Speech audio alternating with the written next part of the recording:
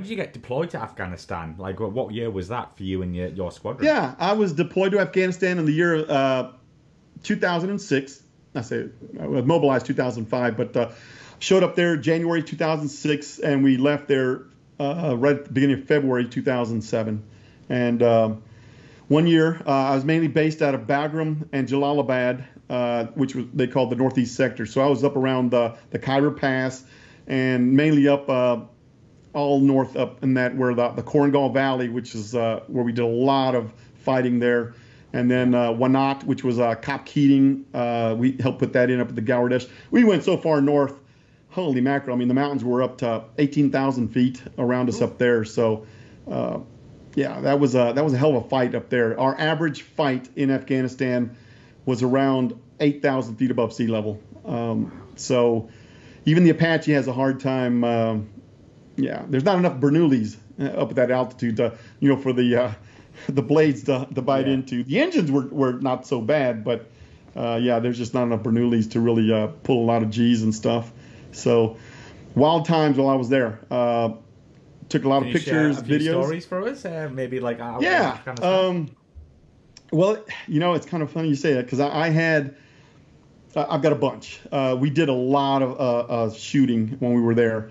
Uh, one that particularly stands out, one of the first ones that I was in, was in the Korengal Valley, um, and this was in May, and we had. Uh, We'd already been getting into a lot of shootings in the Korengal Valley, so pretty much going.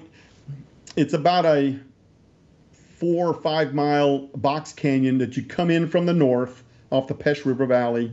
Um, and then the, the base of it was around 4,000 feet above sea level. I'm say four or 5,000 feet above sea level. And then the mountains on both sides and at the end were touching uh, 12,000 feet.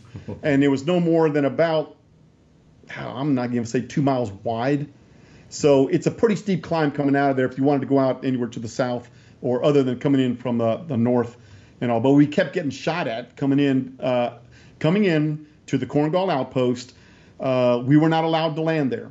The uh, the Chinooks were uh, obviously they had to land there, and um, finally the captain that morning that uh, on this mission he said like you know what we're gonna sick and tired of getting shot at uh, coming in of the, the Korengal, so we're gonna go out the south end. And I was kind of concerned. I'm like you know, it's already in May. It's already getting hot. We're gonna have a hard time uh, climbing out the south end, um, just power wise. You know, with us, uh, you know, for the Apache. So he said, well, we're gonna we're gonna do this just to show them that it can't be done. And we're like, wow, that's that's a hell of a way to fight a war. so uh, we go in there on the first one. Uh, the Chinook lands. I'm circling above. We do not land as Apaches because one, there's no need to, but two, yeah, to have an Apache on the ground there it's just a prime target for the Taliban to start opening fire. Uh, he takes off to the south. I take off uh, behind him, and um, as we're getting up to the saddle that we're going to cross, I'm like, wow, man, we're going to be crossing it very, very low to the trees, and I'm low. I'm talking like right across the tops of the trees. And I said, you know what, that, that'd be a perfect spot to have an ambush. So I ended up, uh, I said, hey, you want me to uh, put off a couple of rockets in that tree line ahead of us, and uh, you know, just go ahead and uh, in case anybody's there, you know, put their heads down. And so, you know, the Chinook guys are like, hell yeah, you know. So they tell everybody in the back, hey, the Apache's about to get next to us, and he's going to shoot off a bunch of rockets in front of us and all. So I'm like, ah, whatever. And uh, so we get up next to him, you know, and you know, fire off a couple of white phosphorus and all in there, and he's like, oh man, that's cool. So go off the back end, you know, just come driving out of there, you know, 180 knots. Uh, go back, pick up the next round. Same thing. Go back to the um, the Korengal outpost, and this time though. I just topped off with gas, and it gotten hotter. And uh, so when the Chinook was about to take off, I thought, you know what? I'm gonna just climb above him at least another 500 feet just to get a head start. And so when he's taking off to the south again, I'm staying with him, but I'm above him, and I'm thinking, you know what? We're not gonna make it this time. It doesn't feel that way. So I said, I'm gonna hug this rock wall on the right side, coming up on the saddle and I'll uh, I'm gonna try and catch some thermals to help me get over the ridge over the, the saddle over the ridge line and all. So I get on the right side of the Chinook, back behind him about about uh, maybe about 100 150 meters, and um, sure enough, as we're climbing on up, uh, the next thing I see is uh, I tell my lieutenant in the front seat. I'm like, man, here we're stuck. I can pull in no more power. I can't turn to the right. I can't turn to the left because the, the Chinook's there. I don't want to get in his downwash, and uh, I, I just hope we make it. And right about then, I see smoke coming off the tail end of the. Uh, I see smoke coming off the tail gunner that was sitting on the back of the Oh. Chinook, and uh, and I'm like, wow. And I was just about to squeeze, you know, uh, the radio and tell the Chinook like, hey man, you got smoke coming off your uh, your Chinook. And right about then, I see the red tracers going off to my right, and I'm like, holy mackerel. I look to the right on that rock wall there, just on the bottom of it was uh, a bunch of Taliban were shooting at him, and they're all just blasting. And I'm gonna say at least ten.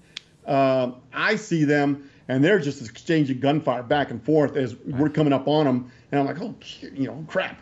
Um, so I waz up the gun real quick. I look over to the right, right at them, and right about that time, the Taliban they were looking at the, you know, shooting at the Chinook. They kind of look back at me, going like, "Oh, Habib, there's a Chinook, there's an Apache," and I'm even closer. Now I'm saying I'm maybe 50 meters away from that rock wall, and uh, I mean I could see them. I could see their band dress. I could see their teeth and all that. They swing their gun, their AKs at me, and they're just hammering away. I mean, yeah, they're shooting at me. Squeeze the trigger uh, with the 30 millimeter, put off a 10 round burst.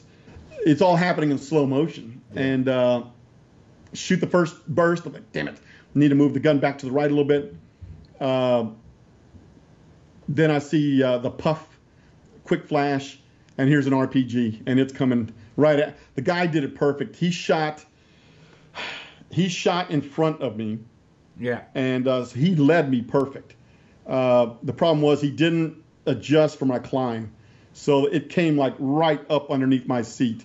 Went off to the left, exploded about 25 meters or so off my left side, and uh, I'm going, damn it, you know, it's a uh, you know RPG, and uh, look back to the back to the right, squeeze another burst again, squeeze another burst again, and by this time we're flying past them, and then uh, squeeze, squeeze, and nothing's coming out. I'm like, damn it, you know, nothing's coming out. Squeezing, squeezing, get over the ridge line and pop off the back end. And by this time, my uh, co-pilot's going like, where, where, where, where? And he had taken the gun away from me, and he was. That's why my gun didn't shoot anymore. He Ah. WASD it up, weapon action switched it up, and took it away from me. And uh, so as we go over off the other end, I'm going, stop. stop. you know, uh, right then, you know, the Chinook calls back saying, yeah, they've got several wounded in the back of their uh, Chinook. And I'm like, damn it. Um, so now we're driving down, you know, that back valley there. And, uh, and I'm telling them, like, don't ever take the gun. If you don't know what I'm shooting at, don't take the gun. Right. And uh, damn it, you know, now we got wounded on that. So uh, nobody was killed on our side. Um, it was interesting because I found out later, now I'm talking way later in the year, uh, I think it was around October, uh, we were weathered in at a Special Forces A camp uh, near that area. And when we were, I was walking through there looking at their maps, and sure enough, on that map was the Korengal Valley, and they had all these little post it notes saying how they had uh, all the different intel on the spots. And right there at that one spot in May, it's the last known whereabouts of Ahmad Shah. That was the one that went after uh, uh, on Operation Red Wings on Lone Survivor. That's who they were going after was Ahmad Shah, and um, and that's what I'd said too. I said like normally when we pass any Taliban, they don't shoot at us; they hide. While these guys shot at us with as as much as they did, uh, that explained a lot. That that was probably Ahmad Shah that I was shooting at that day. That they were making it out of that valley. So, um, yeah, that was an interesting fight. And then I came home for R and R right after you know for two weeks of uh, R and R. And I tell you what, I was still wound up after that I little fight. imagine. Yeah, yeah. Uh, a bunch of other fights after that also. It was uh, a bunch of fights uh, for the rest of the year. Just you know, rescued the Tal- uh, rescued uh, a convoy there in the Tagab Valley. Um, in my movie, we end up um, putting in the last gun battle that I had there in the Korengal Valley that uh, escorting a general, a one-star general in there, and it came under attack, and I didn't have any bullets. Um, yeah, it was uh, wild times there.